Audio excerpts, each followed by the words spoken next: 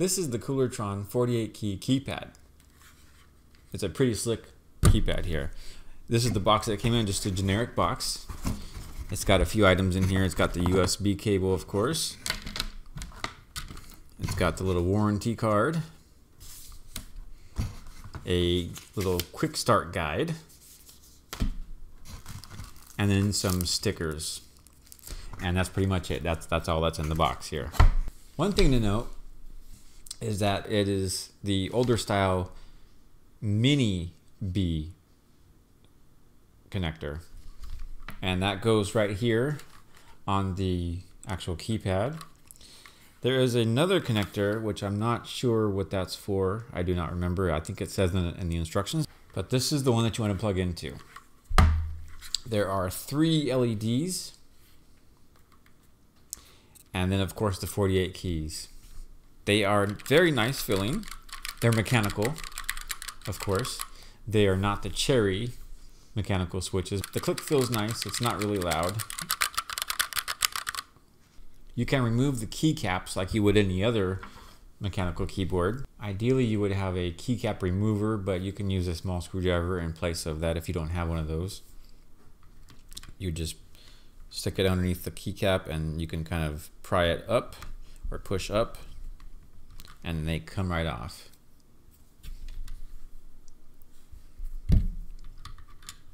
And to put back, you just push back down, straight down. To program this, what you do is you hold down the top left key and you plug it into your computer. What'll happen is that once it's in programming mode, these LEDs will alternately flash and that will let you know that you are in programming mode and then you use the software to do what you need to do to program the keys. You can you can have these keys act as just a single simple you know key, any letters you want, or you can have it be like a control shift A or control X or whatever you want it to do. You can have it do whatever you want. And what's great about this is that once you program the keyboard, it's portable. Now there are other keypads out there. There's a couple other ones that I was looking at before I bought this one. And of course there's the Stream Deck, which is pretty awesome looking. It has those cool buttons that you can program too. And each button is a little LCD to display. And it looks really cool, but there's only a few buttons on that thing and it costs a lot more money. These are about 70 to $80 and the Stream Deck is about $130. You can plug this right into your computer and it does not require any drivers so that's pretty cool. You just plug it in Windows will recognize it or Linux or Mac will recognize it do what it needs to do and a minute later you're up and running with, this keypad. The software is free of course. You can download it from the site that the instructions tell you to go to. The files come zipped up in a RAR file so you will need some kind of unzipping program that can handle that. Older versions of Windows cannot open those files or uncompress those files, I believe. But you can download a free program called 7-Zip if you're on Windows, and it will handle that type of file just fine.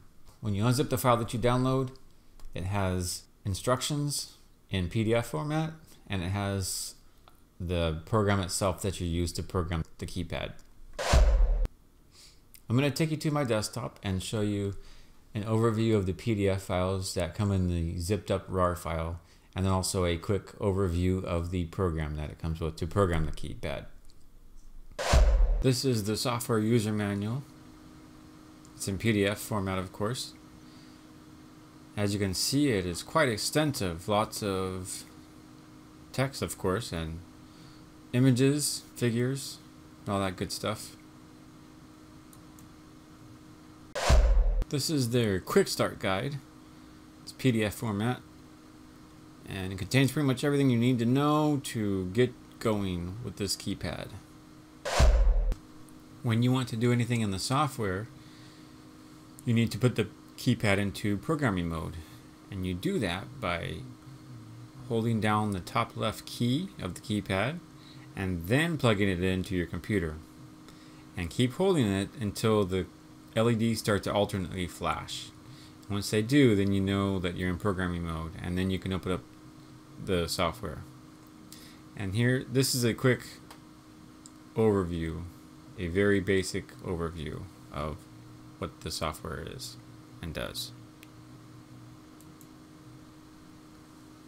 First, you're going to want to select a profile on board. That will allow you to select which profile you want. You just click on the number or the default one, whichever one you want, and then click OK. Now you're working in that profile. Then you can click on a button and click on the key type drop down and choose which one you want here and do your thing. If you want to click on the keyboard to use use a, a keyboard on screen, you can do that. Click on that to program it, and then when you're done, you click on OK. You can always go back into it, make your make your changes. I have Control and Shift selected here, and I hit OK. And now it will do a Control Shift Q for me. When you're done, or as you progress, click on Save Profile on Board. That will actually save the profile, which you, the work you've been doing. Choose a number and you click on OK.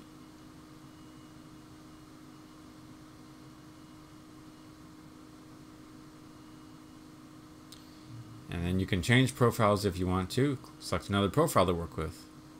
So now, now we're on profile number two.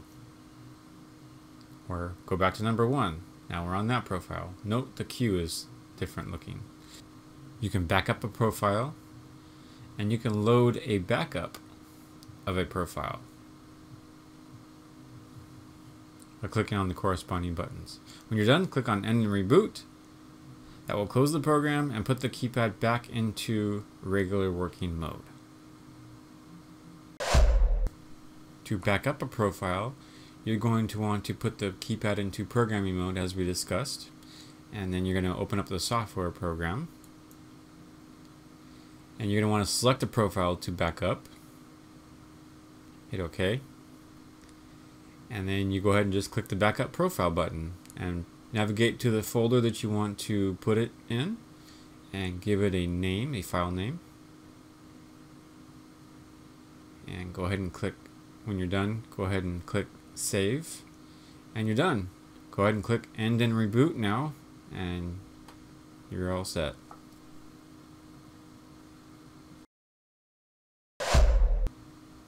Here I'm showing you that I programmed the top two rows already and I'm going to do the rest of my keys.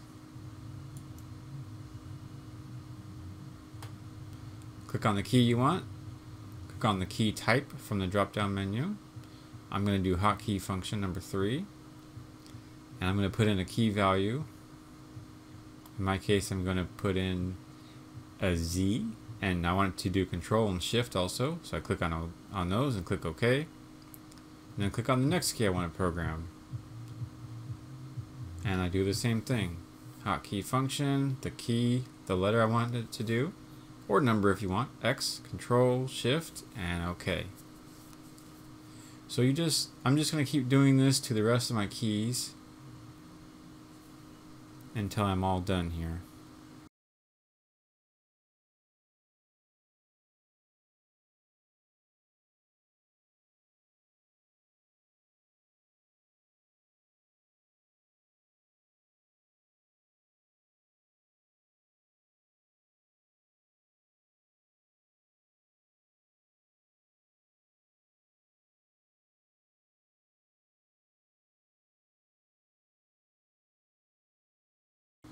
For keys that you don't want to do anything, you can choose number 9, disable key, and hit OK. And now it shows null as the label. So all the, all the rest of the keys here, I'm going to just do that and finish up.